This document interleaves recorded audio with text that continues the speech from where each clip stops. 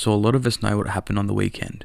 A Gold Coast fan posted a completely insulting and unnecessary tweet about Saints ruckman Paddy Ryder. It went further than a personal dig. The Suns fan referred to Patrick Ryder as Blackie Ryder, and it's completely unacceptable. Now I'll start by saying, in no way do I support this behaviour. We're better than that. You can insult someone without needing to use race to do so. I'm here to say I support people equally, and I'm the last person who's going to join a gang of bullies for some popularity points as well. Some of these people really need to ask themselves are they here because they care about racism, or are they here to agree with one another for likes and popularity? Now, the last thing we need is pathetic Dangerflog chiming in to save the day. He always does this, supports popular topics to boost his reputation as an upstanding leader of the AFLPA to use his public profile to name and shame a regular Joe who made a bad decision is disgusting and doesn't solve anything. He is chucking gasoline on the fire.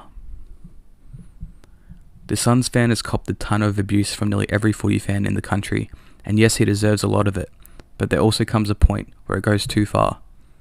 Twitter trolls have chased him around on every platform and cancel cultured him, making fun of his appearance, his mental stability, you name it a heap of users finding his workplace and putting it on the company to sack the guy.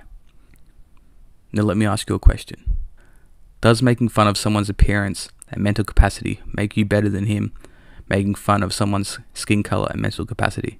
It's just not justified in any way. Anyone who justifies this is a total hypocrite and shows how mad the world has really become. There are many great Indigenous legends, players, and medias of the member who can shed a light on this type of behaviour without a bunch of social justice warriors needing to band together to bully someone. I have heard reports of this young man being suicidal from the abuse and death threats he has received. It's very sad. Now, I put it on the AFL to heavily sanction Dangerflog. He represents the league and is one of the faces. He defamed the man and hung him and his details out to dry. If the league cares for mental health as much as it does racism, then they will help resolve this matter immediately. Anyway guys, I know this video is going to be understood by some, but also misunderstood by some, so I just want to repeat, I'm against racism and I happen to care just as much for well-being. See you guys in the next one.